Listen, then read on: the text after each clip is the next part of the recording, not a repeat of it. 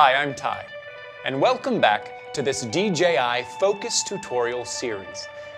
Now I'll be showing you how you can use the focus in the air with the Inspire X5 or X5R.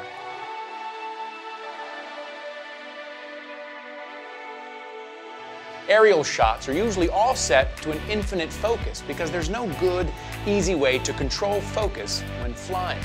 With the DJI Focus, I have a lot more creative control, meaning I can blur out the background to focus the viewer's attention on my subject.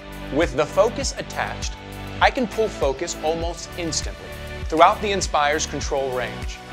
I can also use it to adjust aperture, changing the look of my shot completely. One thing I can do is track along this road. Once my subject comes into the shot, I can pull the focus onto them. You can also use the focus to change your aperture. Check out my Setting Up the Focus video for a refresher on how it's done. With control of aperture, I can start adding depth of field changes into my shot. Now let's say I want to shoot a dramatic shot that starts on my subject with the background behind them soft. Then I want to pull out and up to bring the whole scene into frame. I just have to frame up my subject and drop my aperture to 1.7 for a shallow depth of field.